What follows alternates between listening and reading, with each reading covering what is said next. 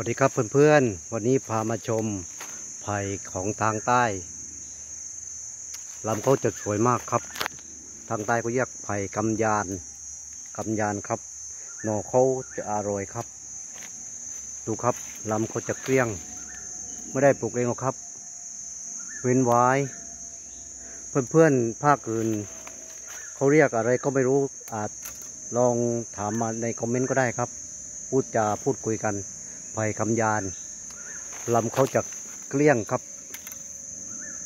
ไม่มีขน เหมาะกับการใช้อาหารดูหนอครับ เริ่มออกหนอแล้ว ครับเพื่อนๆ สูงชะลูดสวยงามมากครับไผ่กำยานของทางใต้เขาจะชอบความชื้น ชอบอยู่ใกล้ลำธารครับ น้ำท่วมก็ไม่ค่อยตาย ผิวเขาจะเกลี้ยงครับ จากธรรมชาติเว้นไว้ ภาคอื่นไม่รู้ชื่ออะไรครับ เพื่อนๆตอบมาหน่อยไผ่กำยานเหมาะมากครับทำปล่องไฟอ่าเตาเผาถ่านครับลำเขาจะเหนียวครับ สวยสูงชะลูดเลยครับ เดี๋ยวลงไปขวางข้างใต้ ไปดูหนอมครับ ครับเพื่อนๆ โอ้ย ชันเหลือเกิน ดูครับหนอหนอก็ทานอร่อยครับ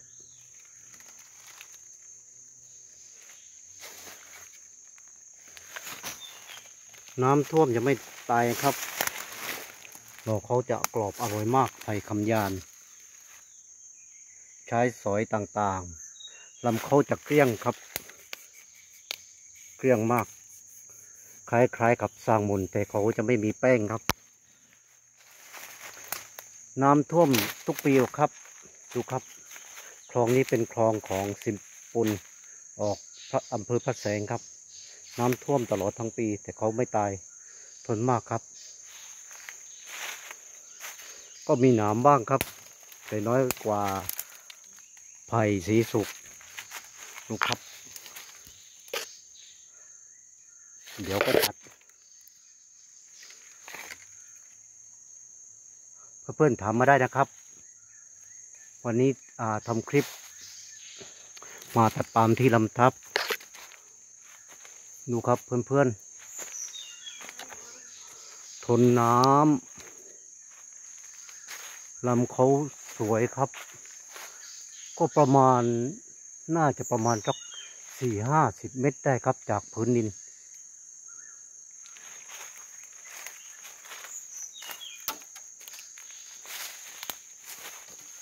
มันจะขึ้นตามลุ่มน้ำครับ จะแตกหนอ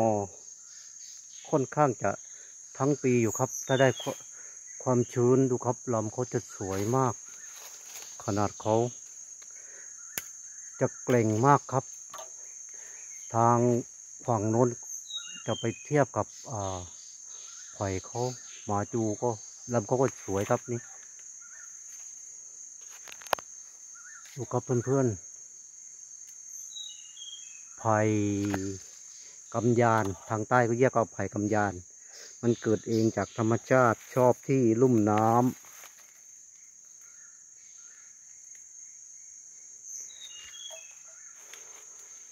ไม่มีขนครับ แต่เขาจะมีหนามเล็กน้อย น้อยกว่าไผ่สีสุกิกครับลำก็จะสูงชะลูด สวยมาก เหมาะเอาไปใช้กับเผาถ่าน เหมาะสมอย่างยิ่งเลยครับ จะเหนียว แต่เรื่องข้าวหลามน่าจะไม่ได้ เพราะไม่เคยไม่เหมือนกับไผ่น้น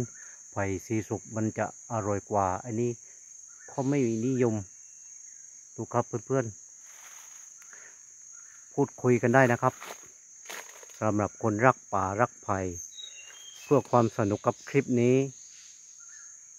เดินผ่านมาโดยบังเอิญก็เห็นสวยอยากแบ่งปันกับพักพวก ครับ อย่าคิดว่าเป็นเรื่องไร้สาระครับ คนปลูกป่า อยากแบ่งปันครับดูครับฝั่งโน้นขึ้นเยอะครับช่วงนี้ น้ำท่วมชอบที่ลุ่ม ชื้น ครับเพื่อนๆ เดี๋ยวผมจะอัพลงแล้วก็หลายช่องทางครับ จะได้แลกเปลี่ยนกันนะครับ หน่อเขาอร่อยมากครับ เคยทาน ครับเพื่อนๆ กรอบอร่อยตำซุป หรือว่าเอาไปดอง